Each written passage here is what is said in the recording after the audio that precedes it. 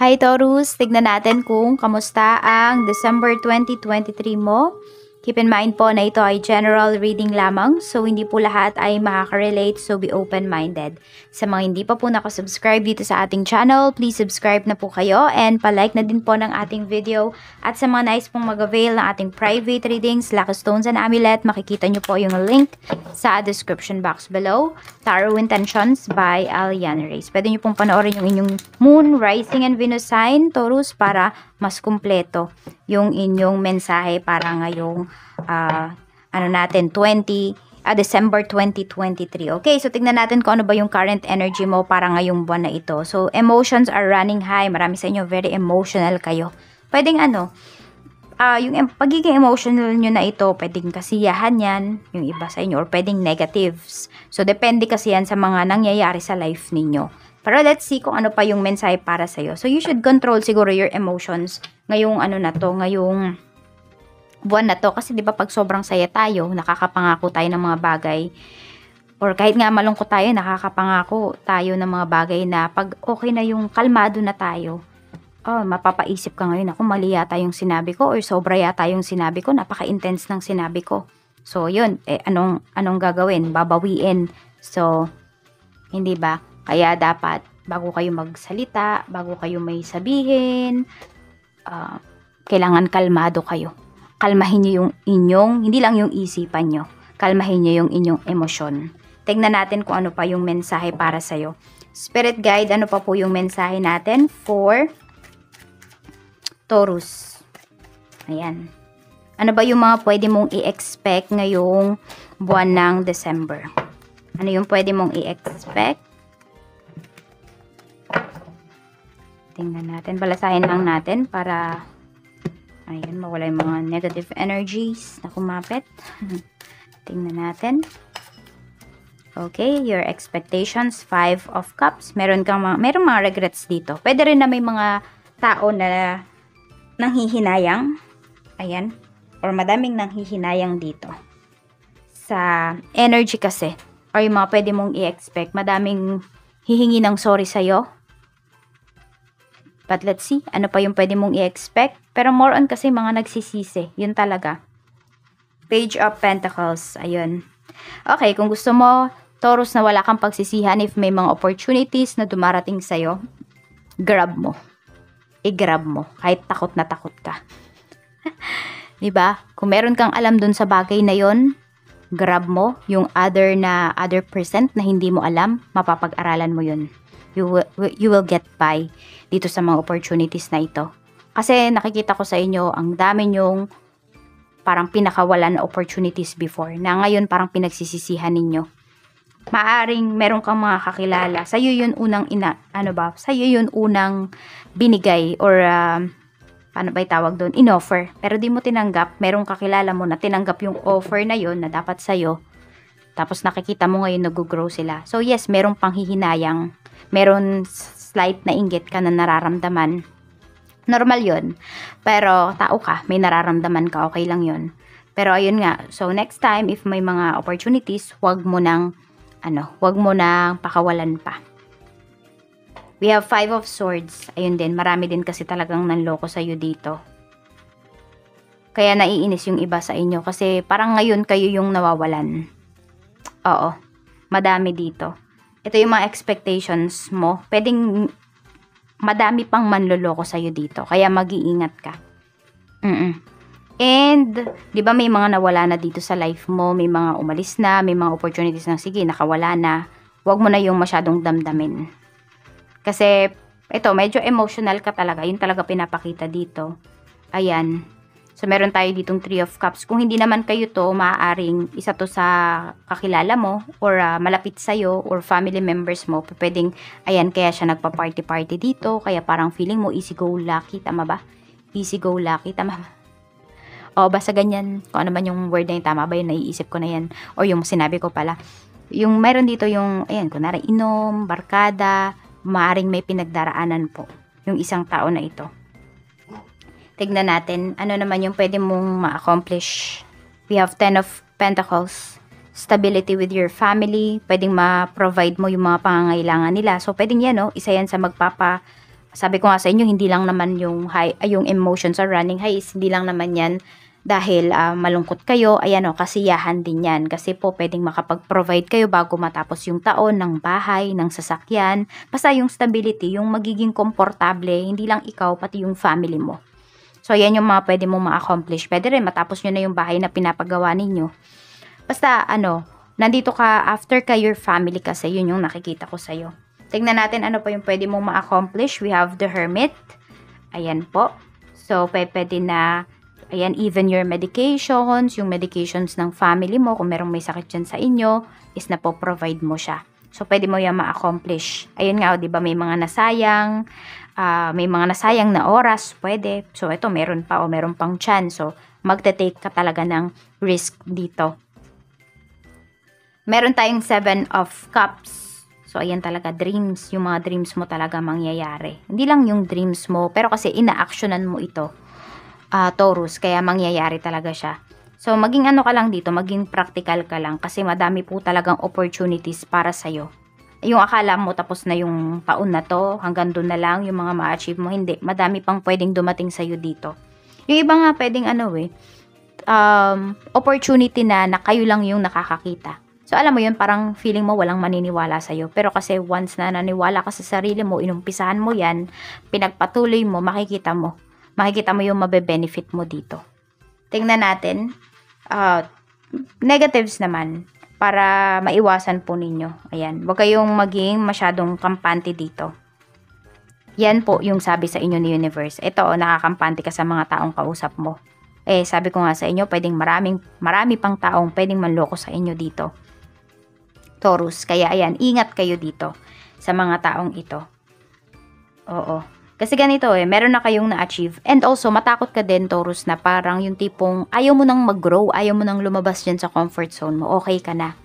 Sige, eh, sige, sabihin natin, baka nga talagang komportable ka na dyan, um, hindi ka na naghahanap ng growth, okay lang din naman. Kaya lang kasi yun, baka mapabayaan mo kasi.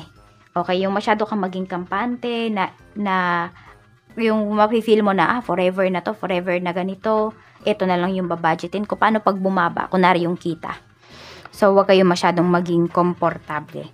Tignan natin. Uh, yung positives naman po, we have 10 of swords. So, may mga ano dito, may mga, sabihin natin, may mga kontrata na matatapos. Pwedeng may mga usapan na talagang matatapos na siya. Yung parang mawawalan ba siya ng visa. Kasi baka naiipit ka dito. Toro sa mga usapan na to, sa mga kontrata na to, ganyan. So, matatapos na siya. Ibig sabihin, mawalan na ng visa. So, pwedeng makaalis ka na. Ayan po, blessings yan para sa'yo. Kasi, um, baka kasi nagbibigay ito sa'yo ng anxiety. Tingnan natin. Ano pa po, spirit guide ang mensahe natin. We have, ayan, we have angel. Meron tayong angel dito. Ito yung blessings. So, guided ka talaga ng mga guardian angels mo and you have to tap into your higher wisdom. Kaya, yung intuition ninyo talaga is pakinggan nyo po kung meron man kayong mga gagawin pa ditong ibang bagay. We have cellphone. So, meron dito mag-upgrade ng phone. Or kaya naman, uh, pwedeng may magre-regalo sa inyo ng phone or mananalo kayo ng phone dito. Oo, tapos may sasakyan din, no? Pwedeng sasakyan or bahay, sabi ko nga sa inyo. Basta mga bagay na disusi. Yan. Pwede po ninyong ma-receive ngayong month na ito. Tingnan natin kung ano pa yung mensahe pagdating naman sa health. Spirit guide pagdating po sa health ni Taurus, kamusta? We have the Hierophant. So more on, ang nakikita kong sakit kasi dito, ayan tignan mo, 'di ba may napap may nababald dito, may parang napapanot ba yan? So, baka po, ayan, sobrang stress yung iba sa inyo, naglalagas yung buhok ninyo. Oh, tapos meron din, dahil sobra kayong maayos sa buhok, or kung ano-ano yung nilalagay ninyo, medyo iwasan nyo yan. Mm-mm. Ano pa? More on ano din kasi nakikita ko dito. Yung sa sakit ng matanda, ganyan. Basta yun, baka ano bang mga sakit ng matanda. Kung narig, arthritis, yung mga ganun siguro. Mm-mm. Tignan natin. So, mga mas, more on sa muscles yung nakikita ko dito para sa inyo, Taurus. Kung di na kayang solusyonan ng mga pinapahid-pahid po ninyo, mga ointment or kung ano man yan, or mga ano, pa-check na kayo. Mm-mm. Tignan natin kung ano pa yung mensahe pagdating naman po sa family, relatives, and home. King of Pentacles. So, may galante dito. Pwede ngang ikaw yan. Pwede rin naman na isa sa mga kamag-anak mo sobrang galante ngayong buwan na ito. Ayan, sa family mo to. Tignan natin pagdating sa friends, we have page of swords. Ayan, may friend ka dito na message or magme-message ng magme-message sa'yo. Sobrang curious niya sa kung ano nangyayari sa life mo. So, parang alos araw-araw ngayong December na to ay makakausap mo siya. O lagi kanya, lagi siyang may comments, lagi siyang nagre-react sa mga posts mo. or meron din naman, kaibigan mo dito, nag spy sa'yo. Siguro ayun, baka hindi niya matanong kung ano ba, ano, kamusta ka na ba, ganun, kaya nag stalk na lang siya. Page of Cups, pagdating naman to sa co-workers mo. Ayan, sa mga co-workers mo naman, magaan naman silang kasama, pero sabi nga, di ba, huwag kang magpakampante kasi maraming manluloko sa'yo dito. So, ayan, ingat-ingat ka dito kasi baka ito, parang ano, bibigyan kanila ng pabor, pero mas malaki pala yung kapalit sa mga co-workers mo.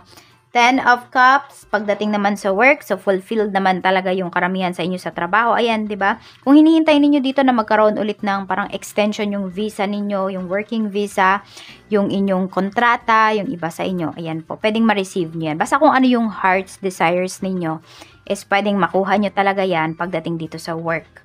Tignan natin pagdating naman sa business. If may business kayo, we have justice.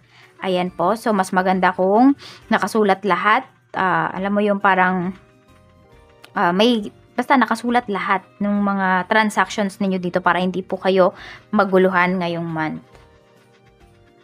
We have the moon pagdating naman sa finances. Ayan, may mga matatapos talaga kayong bayarin dito.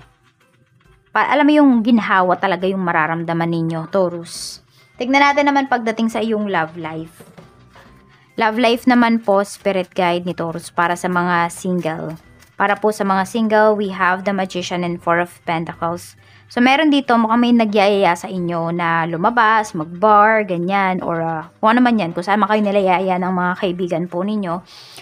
Ay, ito nga siguro ito, oh, yung ka kaibigan mo na to. siguro nga siya yung magyaya ng magyayaya sa'yo. So, ayan. Pero yung iba kasi sa inyo, pwedeng nag-iipon, parang sinasabihan ka nga ng mga kaibigan mo, ang boring-boring naman ng life mo, Taurus.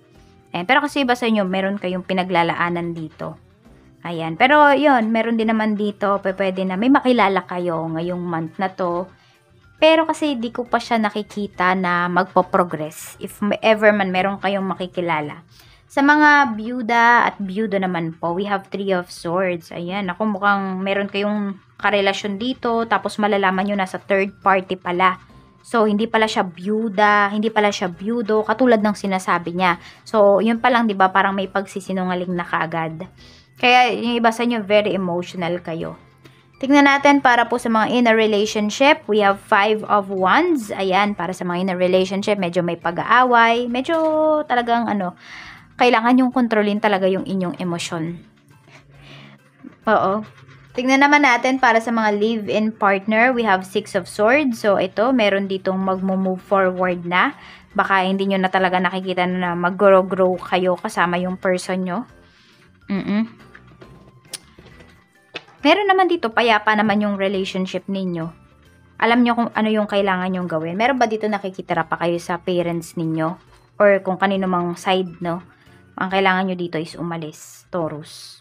Yun yung pinapakita para maging mag, para mag-prosper at magkaroon ng peace of mind kayo parehas ng partner mo. Tingnan natin para sa mga married natin, we have Six of Cups. Ayan po, so marami dito is magkakaroon kayo ng bonding moments with your family. Ayan po, mas ipaprioritize nyo sila.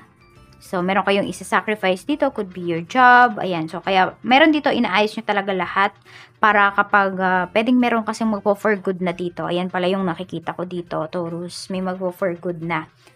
Or, uh, sabi natin, 3 months kayong hindi babalik sa trabaho. Basta, may ganong energy kasi. Inaayos nyo lahat ngayon sa trabaho para makapag-spend time kayo ng uh, oras sa inyong family. Yung tipong parang wala kayong laging hinahabol, wala kayong iniisip na trabaho. Relax yung mind ninyo.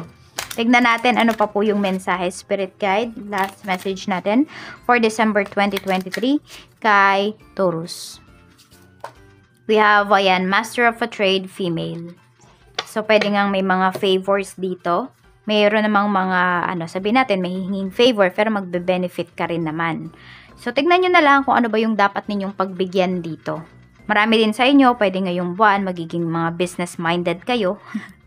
Baka meron kayong mga negosyo na parang for this season lamang ninyo nilalabas or uh, parang nito nyo lang talaga pinagfofokusan. So, ayan po, habang pinapatugtog ko yung ating singing bowl, mag-wish na po kayo, Taurus.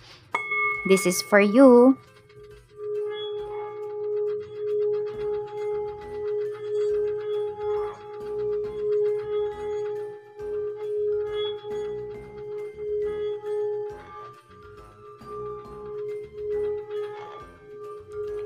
Wish fulfilled.